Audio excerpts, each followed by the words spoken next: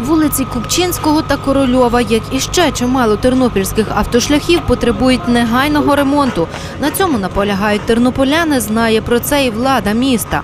За минулий місяць зробили чимало, розповідає Ярослав Копча. Ремонт проїжджої частини вулиць Живова, Пирогова, виготовлення дорожніх карт вулиць 15 квітня, Крушельницької, ямковий ремонт центральних шляхів.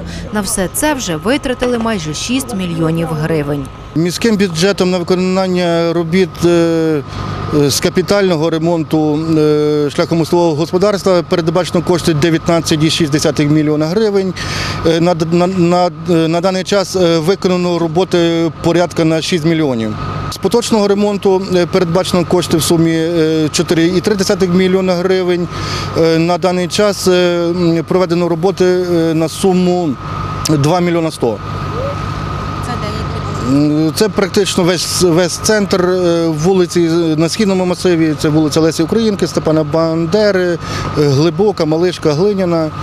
Два тижні тому тут на вулицях Купчинського та Корольова вирізали ями. Нині та завтра, 16 травня, їх асфальтуватимуть. Щоправда, стелитимуть лише нижній шар асфальту. Ще через два тижні ремонт повністю завершать, каже Ярослав Копча.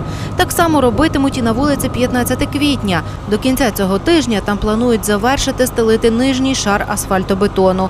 Одночасно ремонтують вулиці Миколинецької, Шептицького. Проте там рух повністю не перекривають. На сьогодні також проводяться е, роботи з поточного ремонту е, асфальтування вулиці Миколинецької. Це без перекриття, це ліквідація ямковості і- йде. І так само вулиці митрополита Шептицького. Це від вулиці Оболоні до вулиці Будно.